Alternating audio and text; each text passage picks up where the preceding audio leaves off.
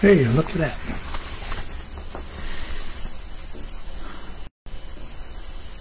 Hello.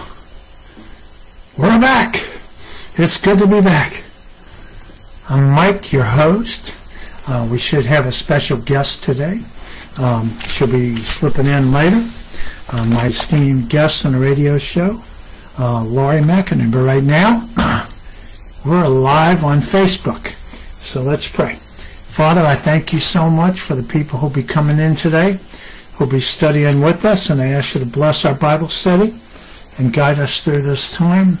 Uh, keep us free from any distractions, please. And I ask um, that you just guide us through uh, knowing more about you, who you are, and how you are, and who we are in you. And I thank you for that in Jesus' name. Amen. A little bit too much light on me here. There you go. Yeah, okay. Hey, Joy Clausen, it's good to see you. So we are in uh, Romans chapter 8, verse 7. And, we saw this in, um, oh, what's going on here? Some kind of junk popping up on my screen. Hey, Stacy. It's good to see you too. So we're in uh, Romans 8, verse 7, and this is what we've seen so far. There is therefore now no condemnation to those who are in Christ Jesus, who do not walk according to the flesh, but according to the Spirit. For the law of the Spirit of life in Christ Jesus has made me free from the law of sin and death. For what the law could not do, in that it was weak through the flesh, God did by sending his own Son in the likeness of sinful flesh on account of sin. He condemned sin in the flesh. Why? So that the righteous requirement of the law might be fulfilled in us who do not walk according to the flesh, but according to the Spirit. For those who live according to the flesh set their minds on the things of the flesh, but those who live according to the Spirit, the things of the Spirit. For to be carnally minded is death, but to be spiritually minded is life and peace. Because the carnal mind is an enmity against God, for it is not subject to the law of God, nor can it be. Nor, nor indeed can be. So, hey, Melissa Myers, good to see you too. Um, last time we saw this, we're going to look at the New American Standard Version. That was the New King James. Hey, Joe. Um, in the New American Standard, it says, because the mindset of the flesh is hostile toward God, for it does not subject itself to the law of God, is not even able to do so. And so we, we saw that to be rather rather uh, daunting last time to think that we as born again people can have a style of living which is dependent not upon God all the time, but often upon the things of the earth and that God sees us as hostility towards himself. Uh, Stacy, I want to tell you that my friend um, John Neal and I passed through Winnie, Texas on Friday. So we're pretty close, but we had to hurry home because we had been away for three days. We went fishing on the Bolivar Peninsula and um, Peninsula for redfish and uh, hey Gary and for speckled trout and whatever else God wanted to give us. And what God wanted us to have was several small fish that were not, you know, we just throw them back. And um, the legal limit of speckled trout, um, legal speckled trout, which is three each. For John and I, we caught, we didn't see one red fish the whole time. But I wanted to tell you, I was in your neighborhood, kinda, and um, that's where all the mosquitoes are, in case y'all want to know. Yeah, we were pretty close, and I thought about it, but we we had to hurry home. Laura, I hadn't seen Laurie in three days. He had seen his wife in the same amount of time. We just we missed him, and so we went home. So so there's a clause here at the end of Romans eight seven. Oh, by the way, Stacy, hopefully this summer Laurie and I will get down to um, to your area, to Houston. When we do, we'll go back up through your town if we can and connect with you there. Um, so there's two clauses in this sentence, Romans 8, 7. because the carnal mind is enmity against God. And the second clause comes after the semicolon, and it says, "For for it is not the colon, it is not subject to the law of God, nor can be." So I see this clause in two lights. The first is a generic look at the idea of not being subject to the law of God in general. Um, this term, subject to, means to instinctively place oneself under the authority of another. And so, um, because of the rebelliousness which came in to mankind with the fall of man, lost people can never do that. And neither can saved people who are focused on the flesh. And so it, we don't instinctively place ourselves under God's authority. And the other way I see this clause in this verse has to do with another meaning of the term, the law of God. And so I'm going to um, quote out of Matthew 22 here, verses 35 to, uh, through 40. So Jesus in this in this um, quote is um, there's some um, legalistic Jews who are trying to catch him, catch Jesus in in a, um, a bind to try to out logic um, the King of Glory. And so he says, then one of them, a lawyer, asked him, Jesus, a question, testing him. In other words, trying to catch him, catch him in a jam saying, Teacher, which is the greatest commandment of the law? And Jesus said to him, You shall love the Lord your God with all your heart, with all your soul, with all your mind. This is the first and great commandment. And the second is like it. You shall love your neighbor as yourself. On these two commandments hang all the law and the prophets. And so this is my point. When a person has his mind set on the flesh, he cannot truly love the Lord God with all his heart, neither can he truly love his neighbor. When we live that way, all we really are thinking about is ourselves. It's about us. We're too busy doing that to consider what God cares about or about what another person needs. And I hope that makes sense. Um, when we're busy focusing on the flesh, we do so because we're desperate and we're desperate to make sure the kid, us, gets what we need or we think we need. And so when we, we are living that way, we, um, we can't really, really care about what God wants because we're too busy trying to get what we want. And that, that's, a, that's a shame. But that's the way most mankind, most humankind lives. And so, um, because of that, we look around and we see a whole bunch of needs that never get addressed that God would like to tug on our heartstrings and get us to it, right? He says, again, out of Romans 8 7, because the carnal mind is enmity against God, for it is not subject to the law of God, nor indeed can be. It just can't, right? Not only are we are we not subject to God's law, but we flat out cannot do it. And I find that to be extremely sad concerning myself and also concerning my brothers and sisters in Christ.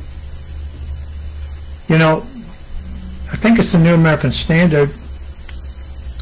Um, might be the, King, the new, new the NIV, the New International Version, uh, translates flesh as self. And the reason it does that is because the flesh is most concerned about oneself. It's self-ish, if, if you catch my drift. It's self-focused and self-oriented. Not only is it concerned about what it wants, and all of us have this, but also believes that it can meet its own needs. That we can, if you will, lift ourselves up by our bootstraps, which if you've ever tried to do, never works, right? I mean, you might get a little bit of air, like about that much, but that's all you're going to get. So now we go to Romans 8 8. So we advance the whole verse today.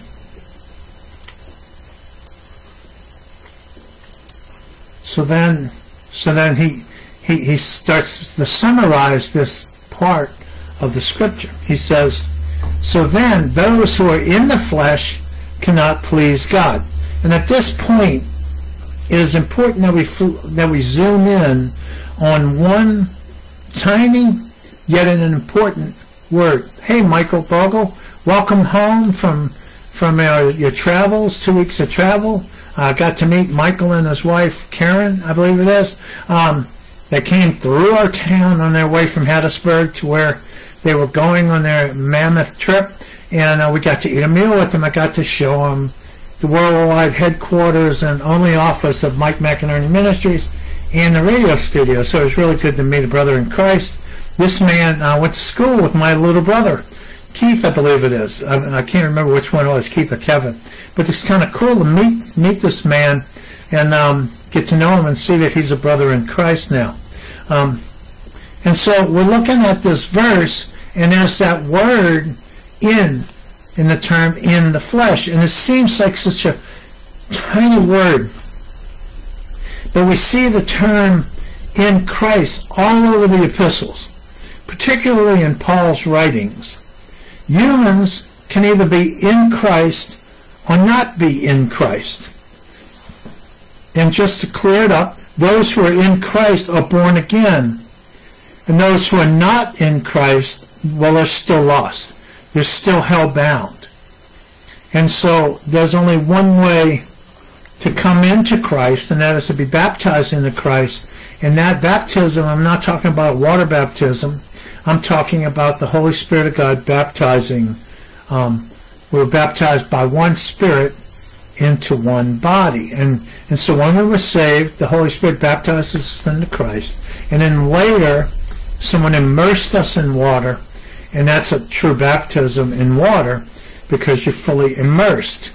That's why sprinkling doesn't approximate the totality of the spiritual baptism that the Holy Spirit does because sprinkling just gets you a little bit wet.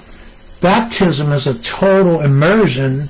The word baptizo, it means to be immersed in whatever it is in which we're being baptized. And so it's important that we enact that, reenact that through a physical baptism to help us comprehend the totality of the change that's come over our whole being when we're baptized into Christ by the Holy Spirit of God.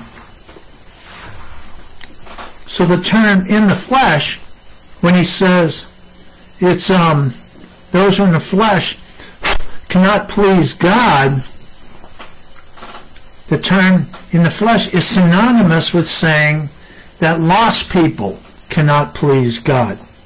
Therefore, as a person who is in the flesh, a lost person truly cannot please him. And these are completely, these people who are lost, who are in the flesh, are completely under the control of their sinful nature, their self, or, in other words, they're under control of their own flesh. So they find themselves living really a spiritually primitive way of being. No matter how brilliant they are, no matter how educated they are, no matter what their pedigree is on the earth, how many letters they have before after their name, if we're lost, we're not pleasing to God. If we're saved, we are pleasing because we're his kids, we're his children, and he's pleased with us. I mean, look at what God said from heaven as Jesus was was baptized by his cousin John the Baptizer. Um, he says, "Behold, this is my son, in whom I'm well pleased." Well, now you and I are sons and da daughters of the Most High God, and because of that, He's pleased with us because we have relationship now. So I'm going to quote out of one of my favorite commentaries, the Life Application New Testament commentary on this topic.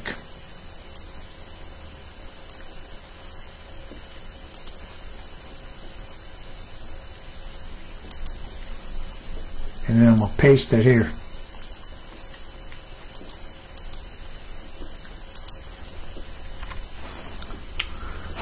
Those who are still under the control of their sinful nature can never please God because they are interested only in themselves and have cast aside the one and only power that can defeat sin. The mind directed by the sinful nature or the flesh can only be devoted to its own self-gratification, which will lead to destruction.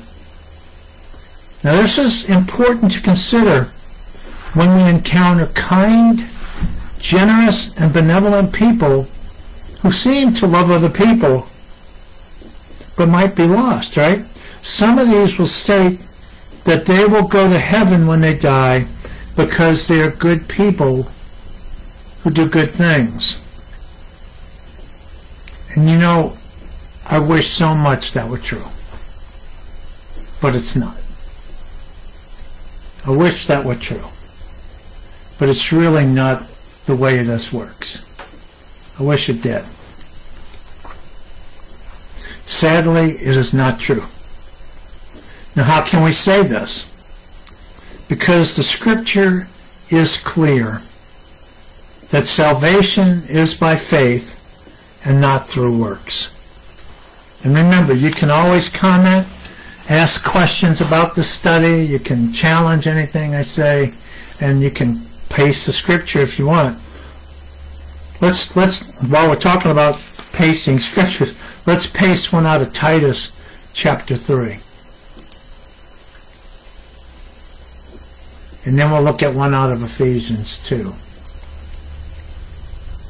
This is important. It's important that we go over these things and that we're equipped with these things because there are many in the body of Christ, especially in the works-based portions of this splintered out body of Christ that we're a part of. You know, it's, it's been so splintered by Satan and, and broken into denominations and congregations and styles, and there's so much warring between them with the body of Christ that's schizophrenic and it's fighting itself. Many in the works-based types of Christendom really believe that they're going to heaven because they do good things. The lost people do good things. Listen to what Paul wrote to Titus in this verse and to us in this verse. See, we, for we ourselves were also once foolish, disobedient, deceived, serving various lusts and pleasures. I mean, look at that term. That lust in our hearts that we actually serve them like servants. And pleasures, living in malice and envy, hateful and hating one another. But when the kindness and love of God, our Savior, toward man appeared, which is a beautiful statement, not by works of righteousness which we have done, but according to his mercy he saved us through the washing of regeneration and renewing of the Holy Spirit, whom he poured out on us abundantly through Jesus Christ our Savior. This is a proof verse that Jesus is God because he says, according, um, but when the kindness and love of God our Savior came, then he says, Jesus Christ our Savior, which is our Savior. Well, they're both God, right? Um, that having been justified by his grace, we should become heirs according to the hope of eternal life. It wasn't through works. He's, he makes it a point to say, not by works of righteousness which we've done. Our works of righteousness didn't save us in the first place, and our works of righteousness don't allow us to remain saved. God is sufficient to do that. In another verse out of Ephesians 2, 8 to um to 9, I believe, yeah, 8 to 9. He says this. And this is the one most people are familiar with because it's shorter, so people use it in their sermons more. But but um, both of these say the same thing. In fact, I, I think I post these in here so people can go over them again, or you can cut and paste them into a Word document while you're in the study. So you can study through it later. Write the notes down and look at it in your Bible. See if it doesn't really say this. Um, the one that we're most familiar with is Ephesians 2. For by grace you've been saved through faith, and that not of ourselves. It is the gift of God, not of works, lest anyone should boast. And you know, if we could be saved by our works, there would be plenty of people telling you why they were saved because of their works, how awesome their works are. And in fact, there's plenty of people that do that right now. And people who don't study the Word of God fall for it because they don't know that the Scripture teaches otherwise. Jesus is the workman who does the work of salvation, not us. If we if we could, like I say often, he could have stayed home. He could have just sent some instructions. Here, do these eight things and you'll be all right. You know, that's not what he did because we couldn't do the eight things. We couldn't do one. So I hope that's clear. So the truth is that doing good things, as nice as it is, will not redeem lost people. So good people doing good things doesn't make them saved and doesn't earn them God's love and God's admiration and God's acceptance.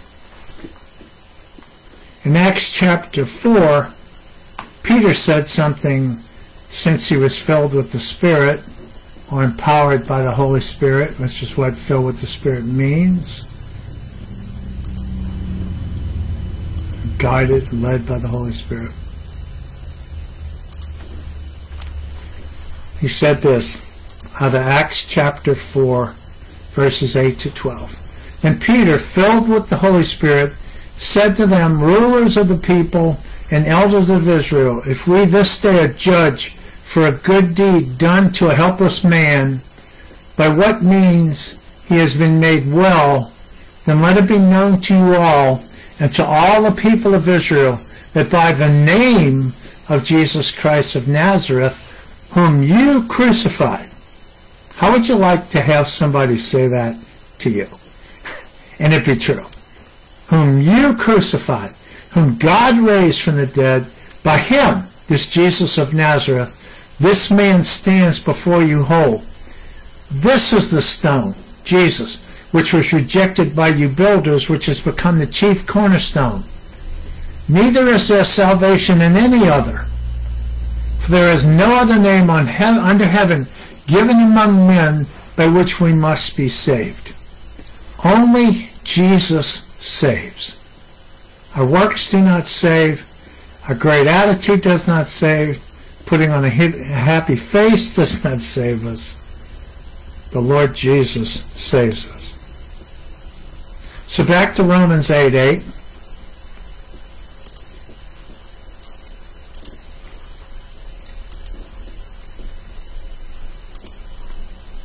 I'm hitting this hard for two reasons.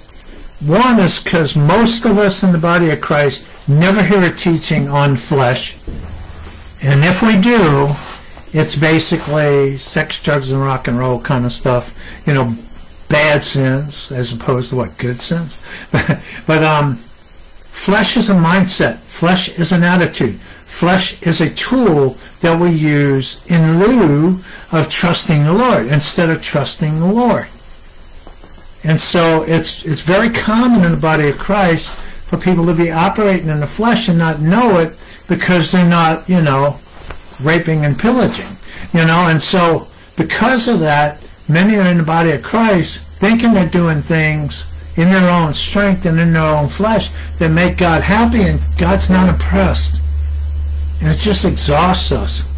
We've seen that the term those who are in the flesh refers to lost people. And Paul points out that lost people cannot please God. And that might seem harsh, but it's a reality which becomes more understanding as we look into the meaning of the word please. What does that mean? So according to the Complete Word Dictionary, which is my, my favorite Bible dictionary to work, I use the Strongs a lot. Sometimes I use the Vines. But this is um, written by a guy named uh, Spiros Zodhiates, and it, it defines every word in, in the uh, Septuagint, which is the Greek New Testament. So every word in the New Testament is um, defined by this Greek guy. Spiros Zodhiates, and so I love that that um, that um, resource. You can buy that book for like 60 bucks off of Amazon or at a Christian bookstore if they still exist. Or you can go to, um, um, I use something called eSword, and you can get that module, and I use it all the time in my study uh, because, because it defines things correctly. So this is what that resource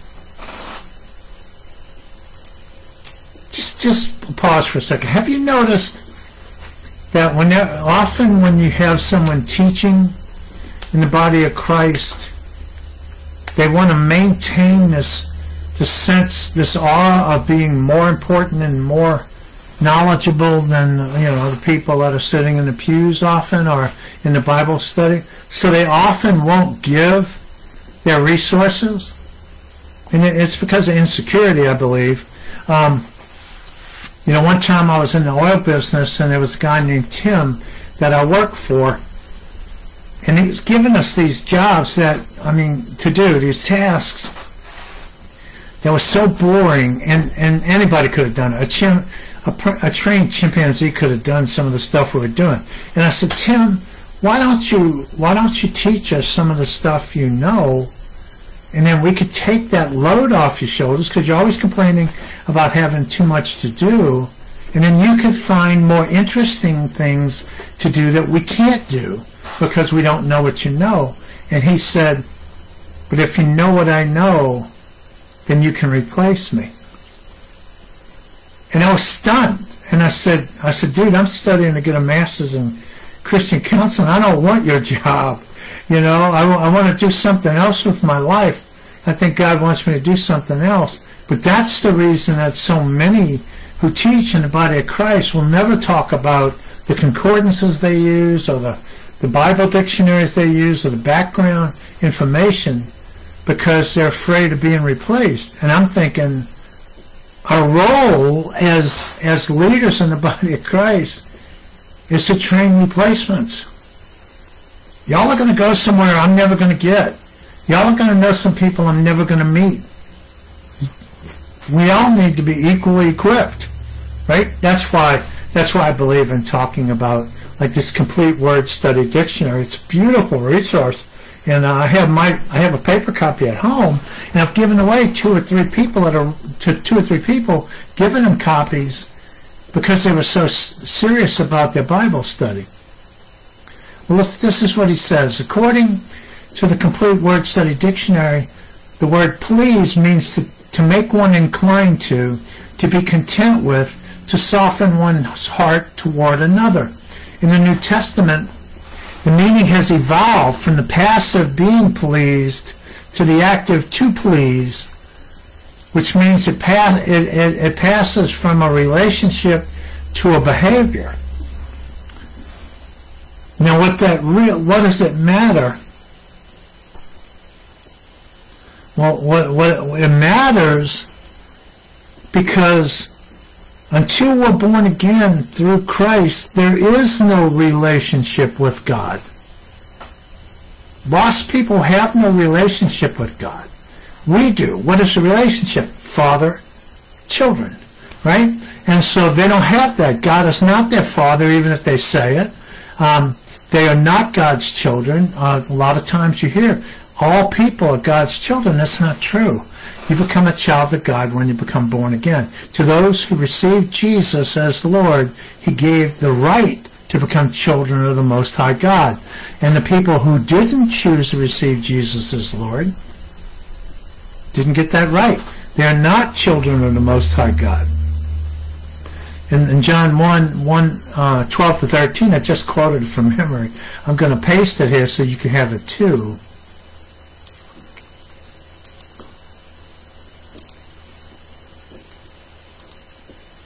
It says, But as many as received him, Jesus, to them he gave the right to become children of God, to those who believe in his name, who were born not of blood, nor the will of the flesh, nor the will of man, but of God, because God said so.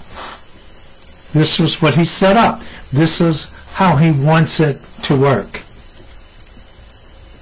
So what if what God what pleases God is when our behavior flows out of relationship with him, lost people truly cannot please him. Since there's no relationship there with God. When you look at it, it's sadly black and white, isn't it?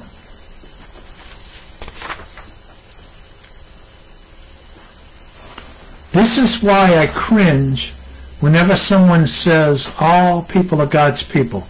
All people are not God's people, but can be if they will humble themselves and receive Jesus and receive God on His terms. So I want to go back and, and look at this definition out of the Complete Word Study Dictionary and kind of go off my notes here because I think the Lord is hammering something in my heart and maybe uh, someone else needs to hear it too.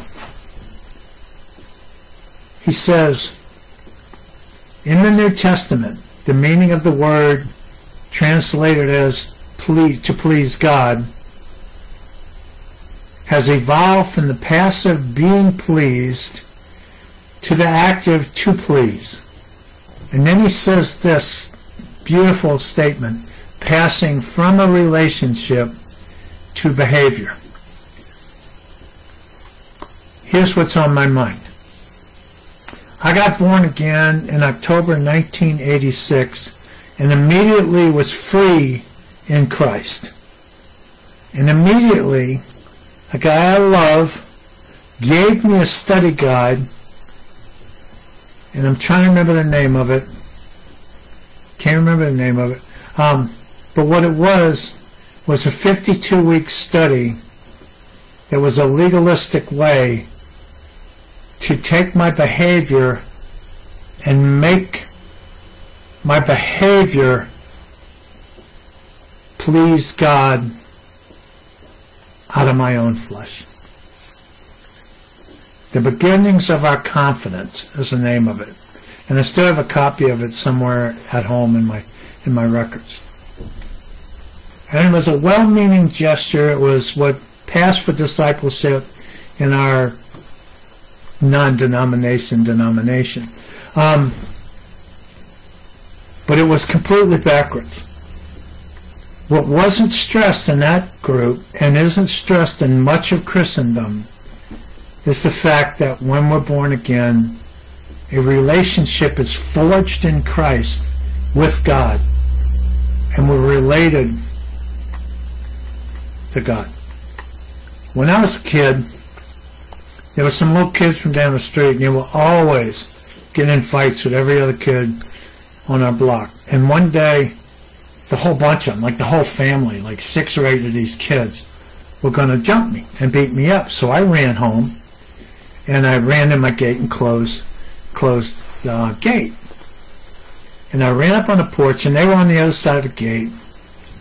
And one of the kids called me a name.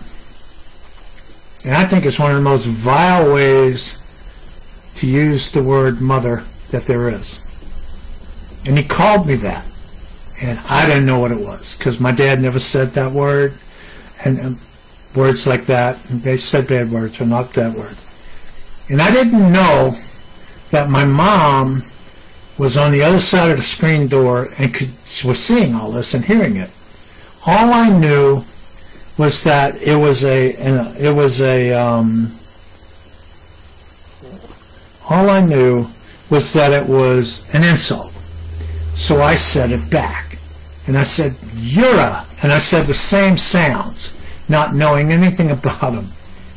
And my mom picked me up by the back of my t-shirt, and I, my feet didn't touch the floor until I had a bar of soap in my mouth in the bathroom and she washed my mouth out, literally washed my mouth out with a bar of cashmere bouquet soap, which I don't even think um, exists anymore. But if it did, I wouldn't buy it because I don't think I could stand the taste or the smell, right? Um, I didn't know what I did wrong. And what she said to me was this. She said, McInerney's don't say things like that. And what she was saying was that a behavior she might not have known it, but she was saying our behavior flows out of our relationship. And your relationship is with McInerney's, with people with my last name, and other people that I'm related to, right? If we will grab a hold and meditate on and ask the Lord to drive it deep into our spirits, who we are as part of the family of God, about the relationship between our Father and our siblings in Christ, between Jesus and ourselves, that we are children of the Most High God, and begin to look to Him for guidance through His Spirit in how to live, then our behavior will do what He says here, passing from relationship to behavior. Our behavior will flow out of our relationship.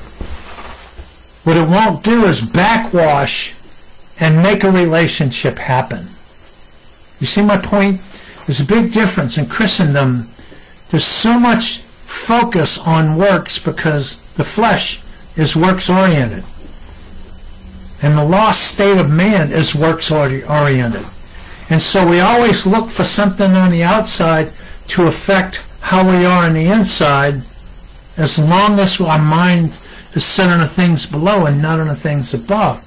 But when we begin to see ourselves in terms of our Father who is above and allow His life to flow through us from on high, through us on the earth, then our relationship that flows out flows out in terms of our behavior, in terms of our beliefs, in terms of our standards, in terms of what makes us aghast and what brings us joy will change because it'll pass from this relationship we have with Him to external behavior on the earth. Does that make sense? I believe it does. But I thought that that that needed to be addressed. We must, and I, I just want to challenge you between now and next time. And if you see something different, interrupt the study with that and say, I am seeing something that I haven't seen before, and I've been trying to meditate on it and focus on it, and it's yielded this. We'd love to hear the praise reports from something like that. It's important because many of our brothers and sisters out there, and maybe in, in the room today with us, have never really dwelled on their relationship with Christ, although they said it in a very light way, a real shallow way, which is what I did for years and still have a tendency to do now. I mean, for a long time, it was just hard to accept knowing what I've done wrong and knowing some of the thoughts that creep around in there that God really does love us that much and loves me and accepts me. Not everything I come up with, but me. The essential who I am, the eternal me. And you have that eternal you, and he does that for you too. So I hope that detour was worth it. And uh, feel free to comment. Nobody's saying anything. That's fine. It just makes me wonder, am I am I still broadcasting? I can't tell because um, it doesn't show that on my metrics here. You know, I think it is. I think it's going well. So. So, um, so Paul now moves on in his letter to the Christians in Rome and also to us in Romans 8 9, and I believe we can get some of 8 9 done tonight. I don't know about you, but talking about this sort of thing energizes me. Yay, Jeff! It's and I'm glad you're here. Thanks for letting me know you're here. Um, I just want you never know, you know. Sometimes Facebook can get squirrely. Sometimes my internet connection can, but it's been pretty good. Um, he says, but if but you. So he says, remember the last verse. He said, those who are in the flesh cannot please God. Here in this verse, he starts off with with the uh, contrast. He says, but you talking to believers like you and I, but you are not in the flesh. What? You're not lost, but you're in the spirit. Why? Because you're born again. since indeed, because the word if can mean since, the Spirit of God dwells in you. Now, if anyone does not have the Spirit of Christ, he isn't his. He's not his. The Apostle Paul starts this line, Romans 8 9, by making a crucial distinction. But you are not in the flesh, but in the Spirit. He is telling us that what he said in verse 8 does not apply to us because we are born again.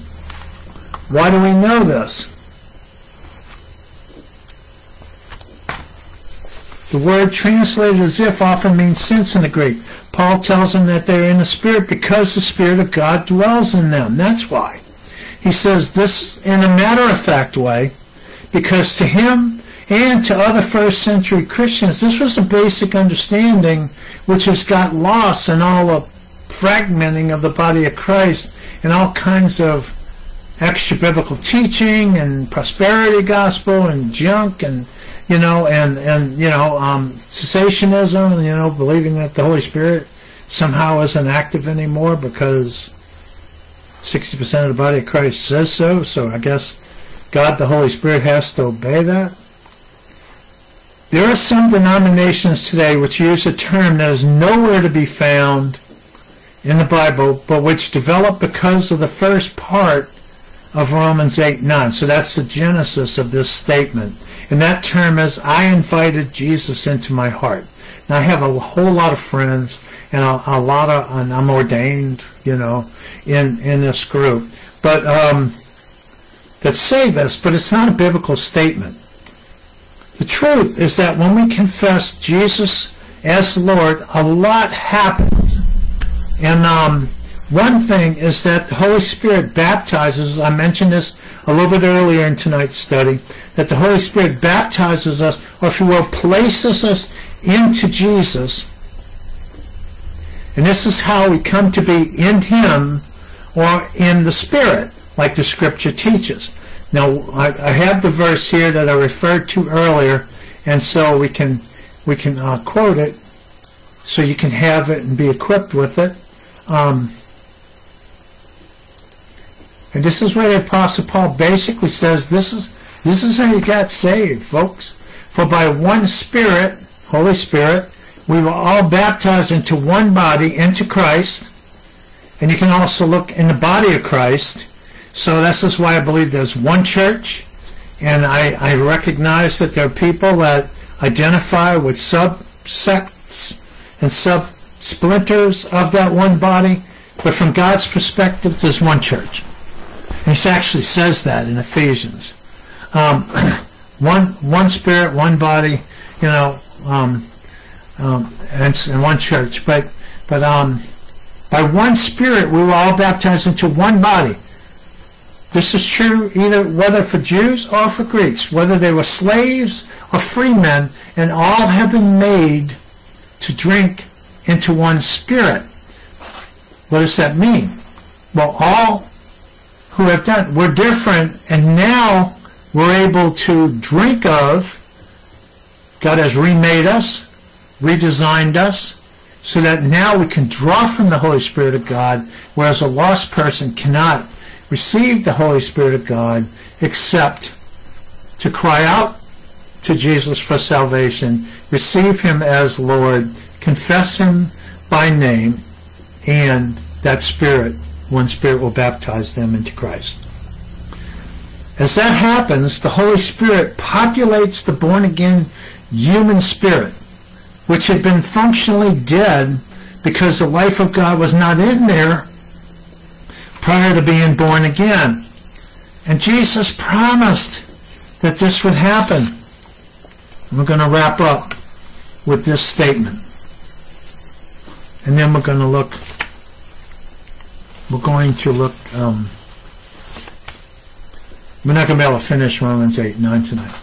Um, we're going to wrap up with this statement from Jesus, who says in John 14 16 to 17, he predicted or prophesied that this would happen to us when we were born again.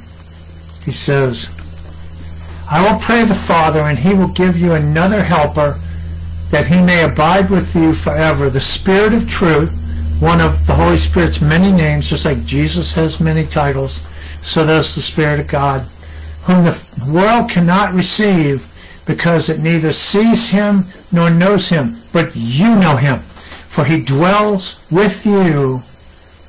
He was dwelling with them in, in the body of Jesus and Jesus' spirit, because Jesus was spiritually alive.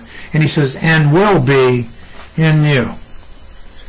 But you are not in the flesh, you're in the spirit, because since indeed the Spirit of God dwells in you. Well, that's where we're going to stop for tonight. And I got to wrap this up and then run down the hall. Um, Laurie didn't come yet. I guess she'll be here in a minute. Um, she's going to be she's going to be um, coming to visit and be on my radio show tonight. Um, so we're going to pray, and then we're going to close with some some um, some announcements, some some some things. So, Father, I thank you so much for the study. I thank you for those who came to be a part of our study today, and I ask you to bless them um, and take anything that I might have taught that was incorrect, and I ask you to um, to not allow it to be a part of them and not take residence in their in their souls if it wasn't true. I ask you to bless them and protect them from any error that I or anyone else might teach, and we try to do our best to teach the truth. And um, but I want you to do that in case I ask you to uh, protect them. I ask you to take the things that were true, sink them deep within their soul, and I ask that you. Um,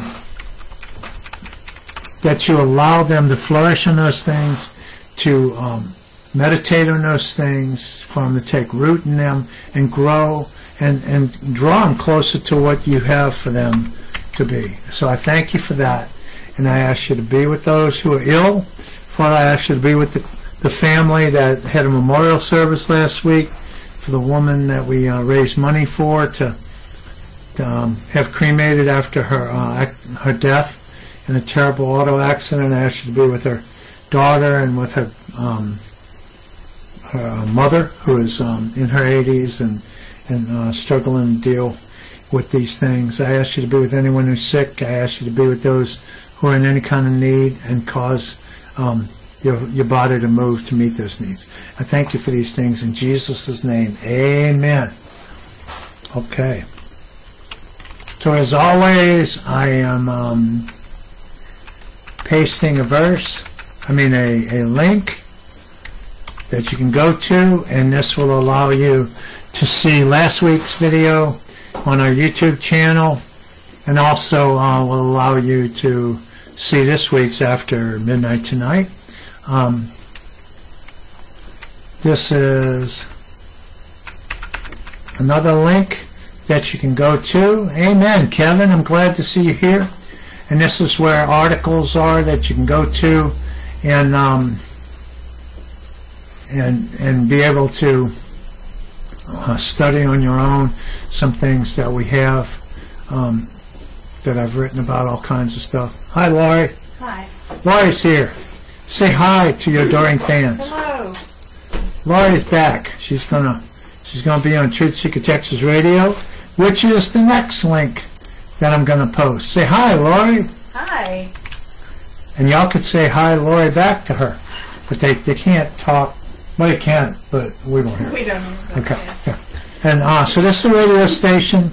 If you want to um, listen in on your um, whatever device you have, um, we're device friendly and diverse, and so you can do that. And then if you would like to call in, Lori is teaching about a topic that she she learned about the distinction, which is very important from a book called The Parenting, The Bible Parenting Code by John Rosman, Roseman, um, which is the difference, the distinction between biblical child rearing and parenting, and and and the effect, and, and it ain't positive.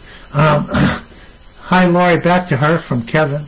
Um, This is the phone number that you can call if you just want to say hi, Lori, over the phone and be on the air, or if you have questions or comments about what she taught last week and what's been playing all this week on our rebroadcast, um, or you can um, call and talk about tonight's show. So um, we got to go down and make the commute down the hallway to our uh, worldwide studios, and then and then we'll see you next time. Thank you for being a part of our uh, broadcast here today. I will post this ver- this video up later, and um, I, I thought we we hit a lot of meat tonight. So God bless you. I love you. How's it go like that? I'll see you next time. Bye bye. Want to see what we look like? There you are. There she is. She looks great. Love y'all. See you later. Bye.